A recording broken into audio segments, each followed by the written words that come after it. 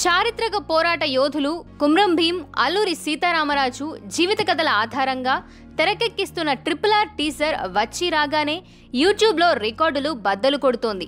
లక్షల కొద్దీ వ్యూస్లో దూసుకెళ్తోంది. అయితే రికార్డుల సంగతి పక్కన పెడితే ట్రిపుల్ ఆర్పై రచ్చ మొదలైంది.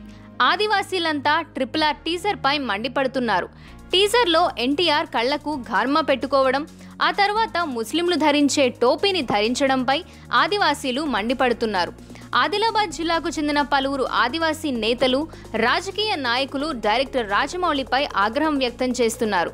కుమ్రం భీం నిజాం పాలకులపై పోరాటం చేశారని వారి చేతుల్లోనే ప్రాణాలు కోల్పోయారని అలాంటప్పుడు ఆయనను ఓ ముస్లింగా చూపించడం చాలా దారుణమని అంటున్నారు. వెంటనే సినిమాలోంచి ఆ సీన్లను మార్చాలని లేకపోతే కోర్టుకు వెళ్తామని హెచ్చరిస్తున్నారు.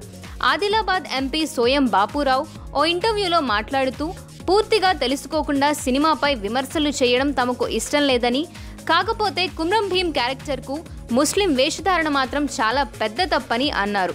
దీనిపై రాజమౌళితో మాట్లాడి క్లారిటీ తీసుకుంటానని అంటున్నారు. ప్రస్తుతానికి టీజర్ రచ్చ చేస్తోంది.